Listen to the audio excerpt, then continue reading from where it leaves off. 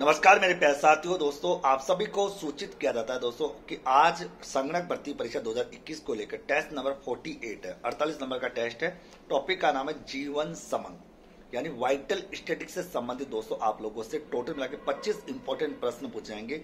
ये टेस्ट दोस्तों doctor Mukesh Pancholi official पर होगा शाम को छह बजे। और इसका डिटेल पोस्टमार्टम सॉल्यूशन जो होगा रात को 10 बजे से लेकर रात को 11 बजे तक होने वाला है, ओके? तो सभी लोग दोस्तों तैयार हो जाइए। अभी से अपना रिवीजन करना शुरू कर दो। अच्छे से अपना पूरा रिवाइज कर लो, क्योंकि मैंने आपको कंप्लीट टॉपिक पढ़ा रखा है। दोस्तों, अच्छे से टेस्ट को दीजिए। छह बजे आप टेस्ट को दोगे और दस बजे इसका डिटेल सोल्यूशन आप लोग देखोगे, ओके? ऑल द बेस्ट मेरे प्यारे साथियों। इस बार उन्नीस दिसंबर दो हज़ार इक्कीस को आपको फतेह हासिल करनी है संगणक भर्ती परीक्षा दो हज़ार इक्कीस में, ओके? All the best